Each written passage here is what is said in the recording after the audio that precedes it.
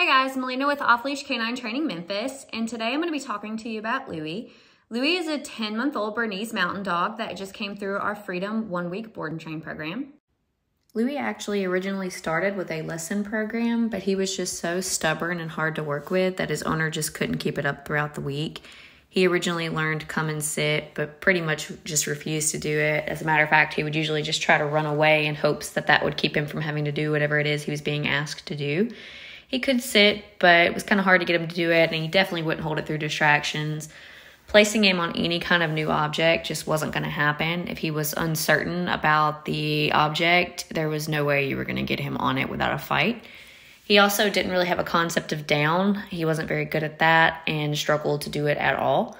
His leash manners were terrible. He would pull really, really hard, and he's a big dog, so it made it really hard for his owner to manage him when they were out on walks with him being so big, he could basically just pull her down. And so she was kind of nervous to really take him anywhere, worried that he would get loose.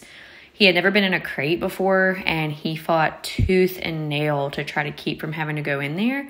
And then once he was in there, he would just scream and holler and just couldn't really settle down or be comfortable in there. He also refused to load up in a vehicle. It was a fight to try to get him in there, and usually that fight ended with Louie winning and you picking him up and putting him in there. Again, this is a massive dog, so that just wasn't going to work. Now check out Louie's progress after just one week.